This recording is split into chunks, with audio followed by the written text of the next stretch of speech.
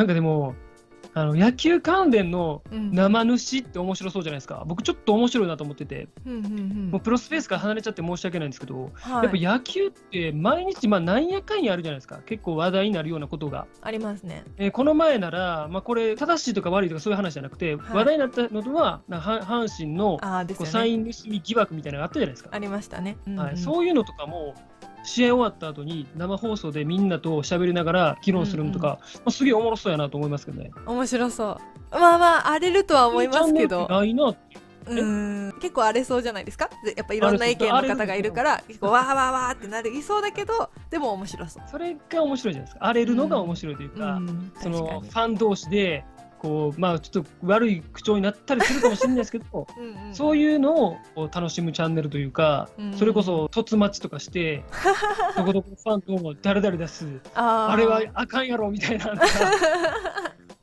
盛り上がりそう。まあやってみても面白そうですけどね。うーん確かに。そういうね、野球が全部、その試合終わった後、まあ、ちょっと夜,、はい。夜中になって、そうですね。そういうチャンネル、ちょっと生ほ生放送枠おもろそうやなと思ってますけどね。ぜひ。いや、ちょっとやんない。僕、そのメンタルあるかわかんない。僕、誰かに罵られたりすると思うんで、それに耐えれるんかなっていう。まあ、まあ結構なメンタルがないときついかもしれない 意見を絶対求められますからねそういうチャンネルやってたら僕が言って炎上する可能性あるんで、でもそんな炎上怖がって知らないですけど、そのチャンネル作ろうと思ったら。確かにその趣旨でやってたらもう炎上は。不可避です、うんまあ、誰かやってくれへんかなぐらいの、くくーみさんはちょっと難しいですよね。私無理です 無理無理みさんはイメージと違いすぎ豆ますもん腐メン。タルなんでだいぶかけ離れたところにいますからね、そういう議論とは。あでもでもツイッターでツイートしましたよ姉の件についてはあ、ほんまっすか？あのあまあ、サイン盗み疑惑についてズバリやってると。いやそんなことは言わないですそんなこと言わないですいてください、これ。いやいやそんなこと見てください皆さんツイート もう。すやってるわけないっすよね、ぶっちやってゃけ。るあれあれがサイン盗みやるわけないっす本当ですよね。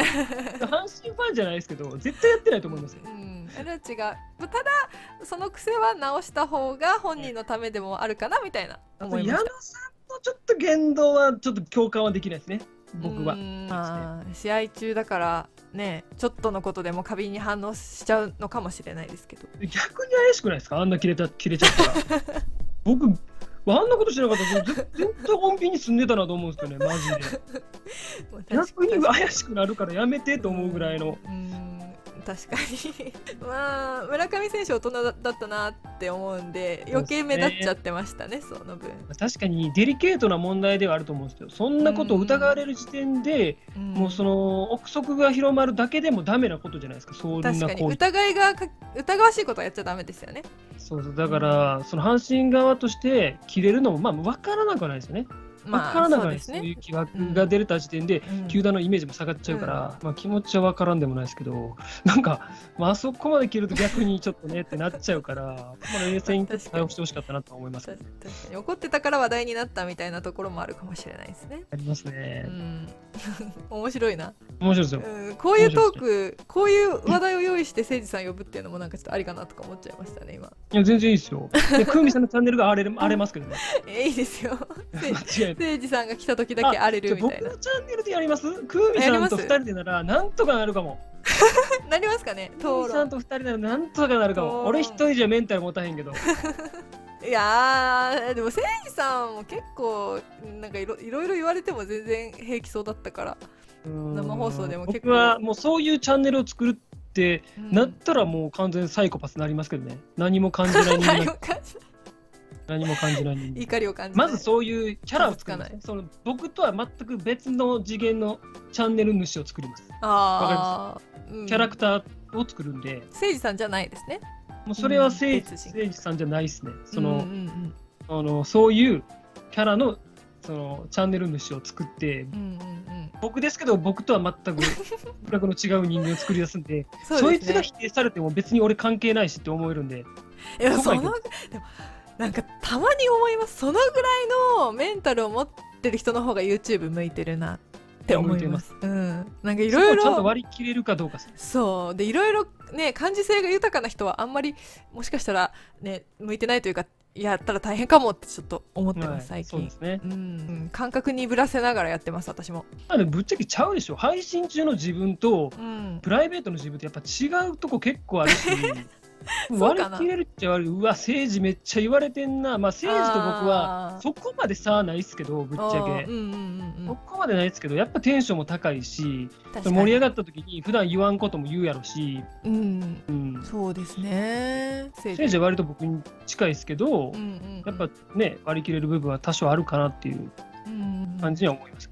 久美さん、どんな感じ？いや私もそんなに普段と変わらないつもりだったんですけどなんか1ヶ月お休みしたんです、はい、この前。でそのお休み明けてからの自分は今までやってた時より以上に普段の自分になってるなっていうのを感じます。肩の力が抜けたというかなんか本当それよかったまんま多分まあでもちょっと視聴者さん的にどうかは分かんないですしあんま変わってないじゃんって思われるかもしれないんですけどなんか本当に普段通り 普段こういう感じで友達と喋ってるみたいなテンションで動画撮ってますね。いいんじゃないですかそっちの方が。親しみやすそうで楽。です本当に。ね そう。そっちの方がいいですよ。前まではふみさんはまずそんな炎上知らずなんで。いや？炎上することないでしょ、まあ、炎上まではいかなくても。まあいろいろ言われることもありますよ、うん、俺も炎上したことあったっけな？なんか何回かちょっとぼや騒ぎ的なあったようなぼやありました。生放送でじゃないんですか？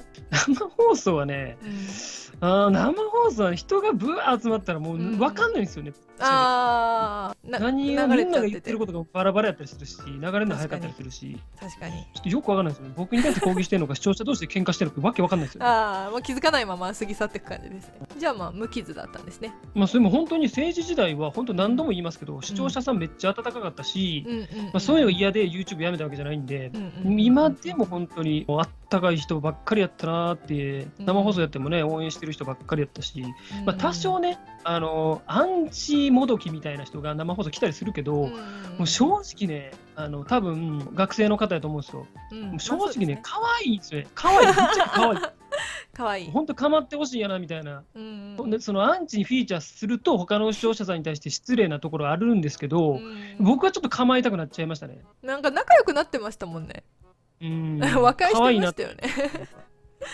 うんそっか。視聴者さんが嫌でやめたわけじゃないっていうのは結構おっしゃってるし本当にそうなんだなって思うんですけど、うん、どっちかっていうとなんか敵は視聴者さんではなくて自分自身だったんじゃないかなって、はい誠司さん。まあそうですね。そう自分が一番厳しかったんじゃない？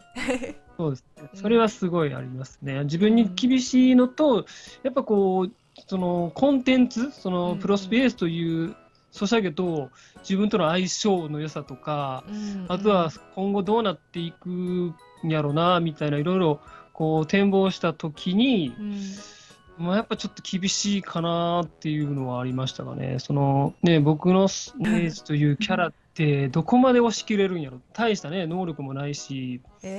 自分自分には厳しかったのは厳しかったと思いますけど、あの時はめちゃくちゃ、うん、ですよね 自分に聞くぐらい、うん、でもちょっと感覚が麻痺して、うん、もうバグってたのは間違いなくバグってました。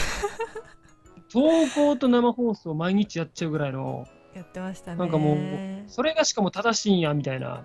うん自分がおかしくなるぐらいプライベートなくなる、ね好きな野球も見られへんって状態でしたからね。うんそっか。そう。どこまで行くんだろうって思ってましたもん。そう寝る寝る時間もあんまないし。オーバーランしかもオーバーラン別に自分で始めたって誰かのせいにしてるわけです。自分が悪いです視聴者さんも別にそれを取れなんて一言も言ってないです。自分で考えて。何も悪くないです。マジで。自分で決めて。ただやっぱりライバルがたくさんいる人気コンテンツの中で、うん、どうやって政治を確立させていこうやっていくこう葛藤の中で、うんうん、戦戦いに戦ったっていう感じですね、自分を見失ってしまった感はちょっとありますね。うん。そうかじゃあ再開してその反省を生かしてまったりやれよっていうふうにも、まあ、ならんこともないんですけど、うん、うん。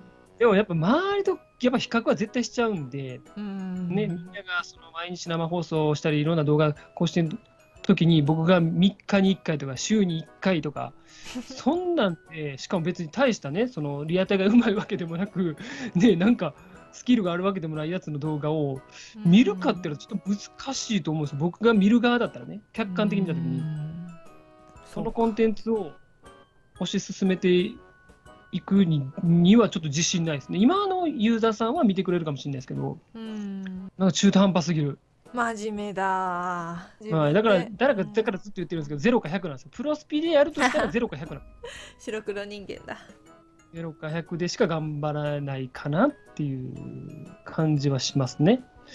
うん、今だからどうやろう。だ本当に腹くく、今から腹くくってよしってなったら再開する可能性あるかもしれないですけど、うん、どうなんですかね。わかりました。そのぐらいの。やって見てくれる人がいるとは思えないんですよね。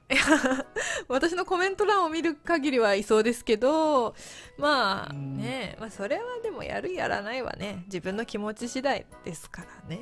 まったりなら楽しめると思います。もちろん、プロスペース。でもガチガチのガチでやると、うん、多分、やらされてる、うん、YouTube のためにやってる、うん、そのお金を稼ぐためにやってる、みんなに見てもらうためにやってる、うん、自分が楽しむという概念は捨てないと多分できないです。うん。まあ確かにな。ソーシャルゲームはそうかもしれないですね。この前スタミナ半減あったんですけど。はいはいはいはい。そうなんかもう懐かしいな。そうもう最後の方なんかもうな何のためなんで私はこれをやってるんだろうって。なりながらやってましたもん、分かんなくなりますよね。まあ、もちろんね、ソシャゲって仕方ない部分あると思うんですよ。楽しさと義務しなければいけないの両立だと思うんですよ、ずっとどこまで行っても。うん。うん、ですよね。それがまあイベントでもあるんで、うん、それが全くなければ、ね、ソシャゲの良さ消えるんで、逆に。うん、何のイベントもない、虚無虚無ゲーになっちゃうんで、虚無。ゲーになっちゃうんで、そ、ね,、れはソシャゲにおいて大事なことだと思うんですけど、うん、うんやっぱり極端にやってたんでね、僕は。まあそうですね。0か100になっちゃったな。まあでもそうね、やっぱ待ってる人がいるというか、うん、ね、もまた見たいって言ってくれる人がいるのは、すっごい幸せなことだなと思うんで、やっぱ心は動きますよね。そういう声によって、やっぱ人間の心って動く、動きますよね。やっぱり。そうですね。視聴者さんの存在は大きいです。どの面で戻ればいいかっていうのすげえ思います。普通に戻ってくださいよ。その面下げて戻ってきてんのっていう。いいのに。ね感じもなりそうやし。あこの辺にしときますか？なんか永遠に喋れそうなんで。はい、もうすごい喋りましたね。うん、もうこれだって40、40分経ってますよ。編集大変ですよ。すね、まあまあまあ、いい感じに。いい感じにしておきます。10分とか5分ぐらいなってんねやろな。どうかな？どこ使われんねやろ。怖いねんけどマジで、はい、どうしよう印象操作されとったら。楽しく僕じゃ復帰するときクーミさんと一緒に復帰させてくださいよ。どういうこと？わえ？私が一人じゃ怖いんでもうメンタルうんちになってるんで。何言ってるんですか？メンタルミジンコみたいになってるんで。じゃあ名残惜しいですが今回はこの辺ではい、誠司さんとお別れしたいと思います。最後までご視聴いただきありがとうございました。誠司さんも今日はありがとうございました。いえいえまた呼んでください。ありがとうございました。また呼びます。半年に1回ペースなんで今のとこ。ろまた 年始あたりに呼びます。全然いつでも付き合います。はい。よろしくお願いします。はい。ということでバイバイ。バイバイ。おつくみ